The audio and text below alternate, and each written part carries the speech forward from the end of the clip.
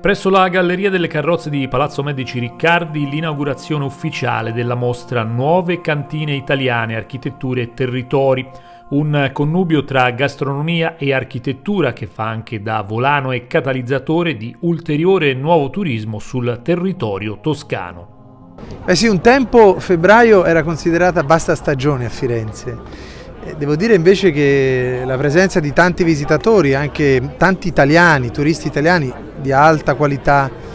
eh, giovani, scuole, mh, rappresenta un po' una novità del dopo Covid che segue al record eh, di questo Natale. E questo credo che sia anche grazie a, ai progetti culturali che mettiamo in campo in città, ce ne sono veramente tantissimi. Abbiamo appena chiuso la bellissima mostra a Palazzo Strozzi, eh, ma eh, ci prepariamo ad altri, ad altri, importanti progetti e tra questi l'inaugurazione oggi eh, qui eh, nel cortile delle carrozze, nella galleria delle carrozze di Palazzo Medici Riccardi, di queste cantine italiane, una mostra che parla di vino, parla di cantine, parla di paesaggio e di architettura, di storia e di identità. Una mostra molto bella anche perché originale e mette in luce un aspetto eh, particolare della nostra Toscana, cioè la capacità di coniugare la qualità e la tradizione del vino con eh,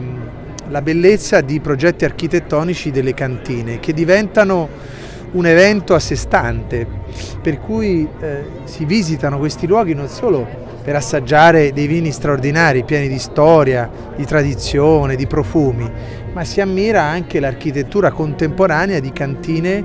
eh, che incarnano la creatività eh, contemporanea. Quindi ci sono veramente tanti buoni motivi per venire a questa mostra e poi magari da questa mostra progettare un tour eh, enogastronomico ma anche culturale nella nostra bellissima regione e nei dintorni di Firenze, oltre che nel resto d'Italia perché la mostra parla dell'Italia.